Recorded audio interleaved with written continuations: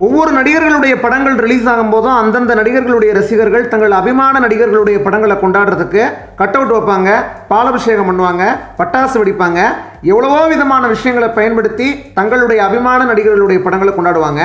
ஆனால் சமீபத்தில் கடந்த ஜனவரி மாதம் பத்தாம் தேதி பேட்ட திரைப்படம் ரிலீஸ் ஆன அன்னைக்கு பேட்ட திரைப்படத்தை கொண்டாடுறதுக்கு ஒரு சூப்பரான விஷயத்த ஒருத்தவங்க கையாண்டாங்க அப்படின்னு தான் சொல்லணும்.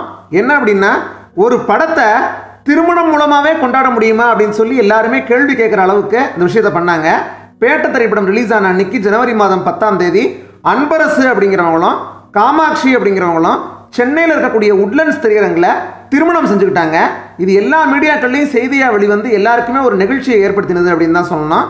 அந்த அன்பரசு காமாட்சி தம்பதியினரை இன்றைக்கு ரஜினிகாந்த் அவர்கள் தன்னுடைய போயஸ் கார்டன் இல்லத்துக்கு நேரில் அழைத்து அவங்களுக்கு வாழ்த்து தெரிவிச்சிருக்காங்க. அவங்களுக்கு நினைவு பரிசையும் வழங்கியிருக்காங்க. இது அவங்களுக்கு மிகப்பெரிய ஒரு மகிழ்ச்சியை கொடுத்துருக்கு அப்படின்னு தான் சொல்லணும். இதில் அன்பரசு அப்படிங்கிறவருக்கு சூப்பர் ஸ்டார் ரஜினிகாந்த் அவர்களை நேரில் பார்த்தோன்னே அவ்வளோ ஒரு சந்தோஷம் ஏற்பட்டுருச்சு. அவங்களுடைய மனைவியாகிய காமாட்சி அவர்களுக்கு அவரை விட ஒரு படி மேலே போய் அவங்க அழவே ஆரம்பிச்சிட்டாங்க. சூப்பர் ஸ்டாரை நேரில் பார்த்த உடனே உடனே சூப்பர் ஸ்டார் அவங்களுடைய தலையில் கை வச்சு ஆஸ்வாசப்படுத்தினாங்க அந்த அளவுக்கு சூப்பர் ஸ்டாருடைய ஃபேன்ஸ் அப்படிங்கிறவங்க எத்தனை தலைமுறை ஆனாலும் திருமணத்தையே வச்சு ஒரு படத்தை கொண்டாடுற அளவுக்கு சூப்பர் ஸ்டாரை ரசிக்கிறாங்க அப்படின்னா அதுதான் சூப்பர் ஸ்டார் அப்படிங்கிற ஒரு காந்தத்தன்மை அப்படிங்கிறத எல்லாருமே புரிஞ்சுக்கலாம் இது மூலமாகவே இந்த நியூஸ் உங்களுக்கு பிடிச்சிருந்ததுன்னா இந்த வீடியோக்கு லைக் கொடுங்க இந்த வீடியோ எல்லாருக்கும் ஷேர் பண்ண மறந்துடாதீங்க.